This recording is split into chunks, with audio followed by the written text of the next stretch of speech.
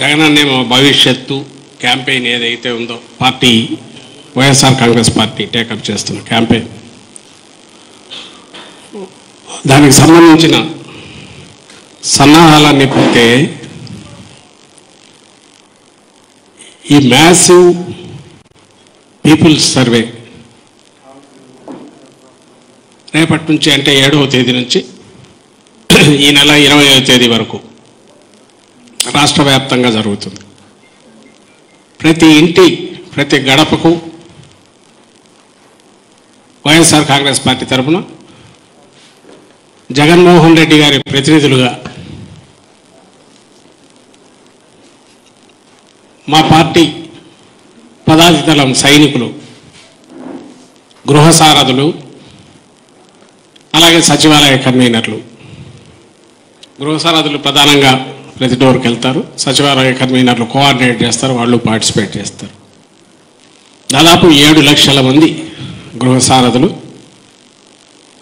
రాష్ట్రంలోని కోటి అరవై లక్షల ఇళ్ళను ఈ పద్నాలుగు రోజుల్లో సందర్శిస్తారు. కోటి అరవై లక్షల ఇళ్ళకు ప్రతి గడపకు వెళ్ళి ఐదు కోట్ల మంది ప్రజలను ప్రత్యక్షంగా మమ్మల్ని మా జగనన్న పంపారు. ఆయన తరపున వచ్చి మీ దగ్గర నుంచి మీ అభిప్రాయాన్ని మీ మద్దతును కోరుతున్నాం మీ అభిప్రాయాన్ని తెలుసుకుంటున్నాం అని వాళ్ళతో ఒక పది నిమిషాలు టైం స్పెండ్ చేసి జగన్మోహన్ రెడ్డి గారు ఏ మెసేజ్ అయితే ఇవ్వాలనుకుంటున్నారో అది ఇచ్చి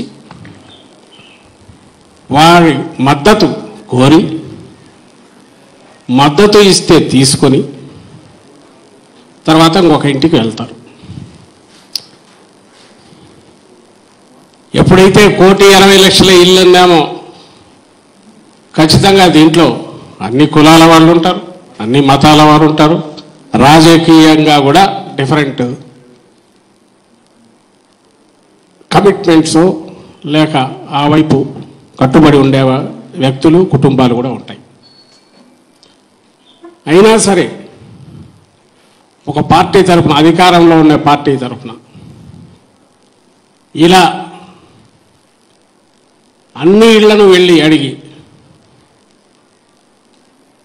మీకు మా ప్రభుత్వం ఏం చేసింది?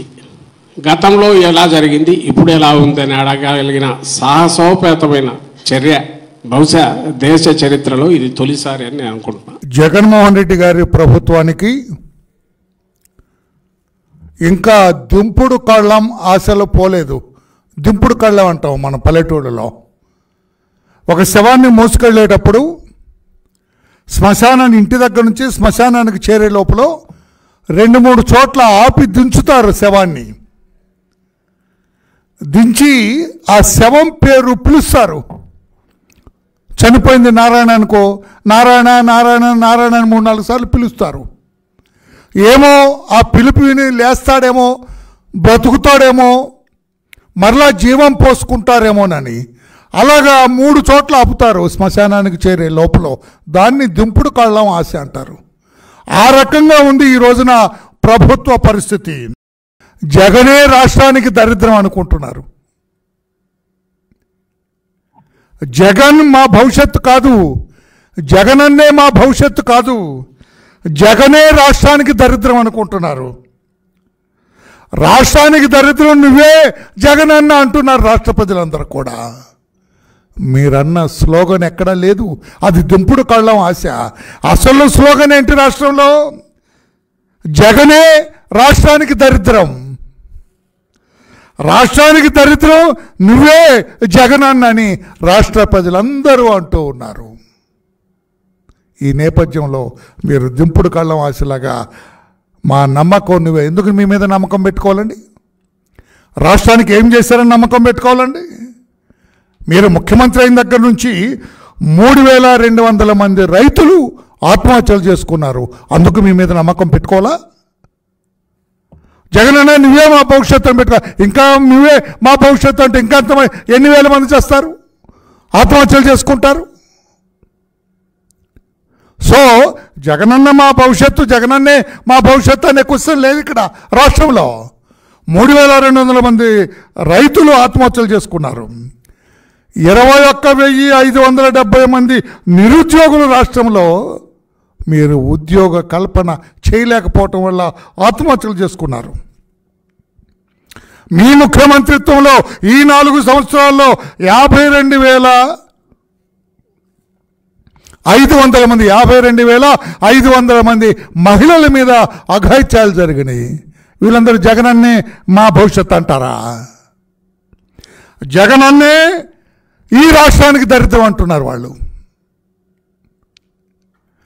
జగన్ రాష్ట్రానికి దరిద్రం నువ్వే జగన్ అంటున్నారు. అది అర్థం చేసుకోకుండా మీరు ఈ రకంగా ముందుకెళ్తామని చెప్పి ఇంకా ప్రజల్ని మభ్యపెట్టాలని చూడటం సరైంది కాదు అని చెప్పి కూడా నేను తెలియజేస్తున్నా.